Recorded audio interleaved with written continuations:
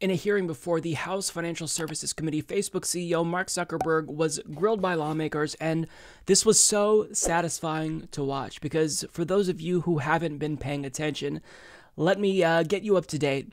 Facebook is a company that collects and sells your personal data. Now, on top of that, they go out of their way to appease the right.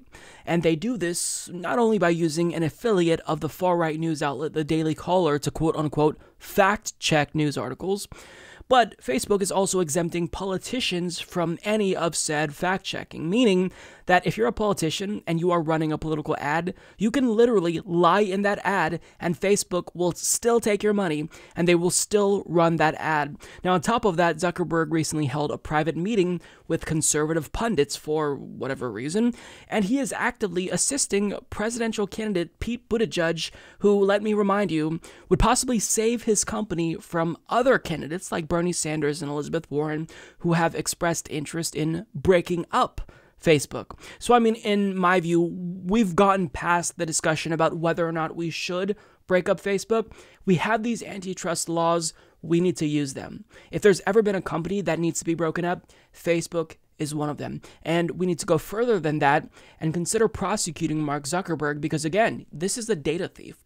Now, I'm frustrated, as you can tell, but another individual who was frustrated with Mark Zuckerberg and Facebook's antics is Congresswoman Alexandria Ocasio Cortez, who I think shined during this entire hearing because she grilled him perhaps harder than any other lawmaker.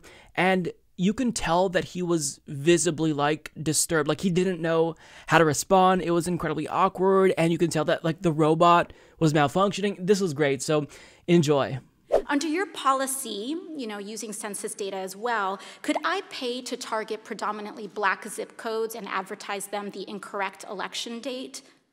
No, Congresswoman, you couldn't. We, we have, even for these policies around the newsworthiness of, of mm -hmm. content that politicians say and the general principle that I believe that. But you said you're not going to fact check my we, ads. We, we have, if, if, uh, if anyone, including a politician, is saying things that uh, can cause, that is calling for violence or uh, could risk imminent physical harm or voter or census suppression when we roll out the census suppression policy, um, we will take that content down. So, so you will, there is some threshold where you will fact check political advertisements. Is that what you're telling me? Well, Congresswoman, yes, for specific things like that, where there's imminent risk of harm. Could I run ads targeting Republicans in primaries saying that they voted for the Green New Deal? Sorry, I, I, can you repeat that? Would I be able to run advertisements on Facebook targeting Republicans in primaries saying that they voted for the Green New Deal? I mean, if you're not fact checking political advertisements, I'm just trying to understand the, the bounds here. What's fair game? I, uh, I don't know the answer to that off the top of my head. I think. So probably. you don't know if I'll be able to do that. I think probably. Um, do you see a potential problem here with a complete lack of fact checking on political advertisements? Well, Congresswoman, I think lying is bad, and I think if you were to run an ad that had a lie, that would be bad. That's different from it being, uh, from it, from, for in our position, the right thing to do to prevent uh, your constituents or people in an election from seeing that you had lied. Um, so we can, so you won't take down lies or you will take down lies? I think it's just a pretty simple yes or no. Congresswoman, uh, in, I'm not talking about spin. I'm talking about actual in, yes, in most cases, in a democracy, okay. I believe that people should be able to see for themselves what politicians that they may or may not vote for so you won't take them down. character for themselves. So you won't take. You may flag that it's wrong, but you won't take it down. Congresswoman.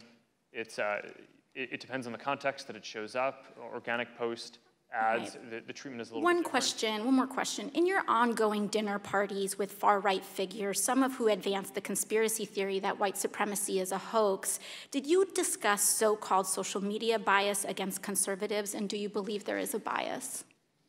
Uh, Congresswoman, um, so I don't remember everything that was in the, in, in the question. That's all right, I'll move on. Can you explain why you've named the Daily Caller, a publication white, uh, well documented with ties to white supremacists, as an official fact checker for Facebook? Congresswoman, sure. We actually don't appoint the independent fact checkers. They go through an independent organization called the Independent Fact Checking Network that has a rigorous standard for who they allow to, uh, to serve as a fact checker. So you would say that white supremacist tied uh, publications meet a rigorous standard for fact checking? Thank you.